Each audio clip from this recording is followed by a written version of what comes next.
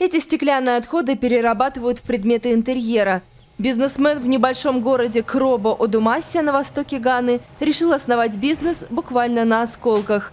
Майкл Тетте считается одним из единственных сертифицированных стеклодувов Ганны. Использует самые разные отходы, от битых бутылок до окон. Говорит, что перерабатывает тонны. В противном случае все эти осколки оказались бы на свалке. Мы находимся в стране, где не перерабатывают стекло. Исключение составляют только производители бисера, мои коллеги, которые производят мелкие бусины в промышленных масштабах. Но промышленность может использовать больше стекла. Тета обучался стеклодувному делу в Нидерландах вместе с двумя другими коллегами. Он надеется возродить утраченное искусство в Гане. Свою фабрику он построил с нуля около 10 лет назад – все проектировал и закупал сам, в том числе печи для обжига.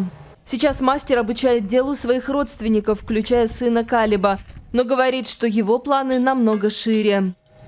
Мой план состоит в том, чтобы построить школу стеклодувов здесь, в Гане, потому что у нас нет таких школ в Западной Африке и в нашей стране. Это будет ультрасовременная мастерская по производству стекла для жителей Ганы, студентов и учеников средних школ.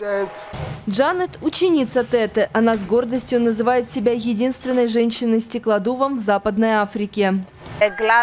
Выдувание стекла – это удивительный процесс. С его помощью мы создаем вазы, стаканы, миски и многое другое. Это один из магазинов, где продают изделия фабрики. Его владелица надеется, что сможет внести вклад в сохранение окружающей среды, поскольку битые стекла опасны и разлагаются более тысячи лет.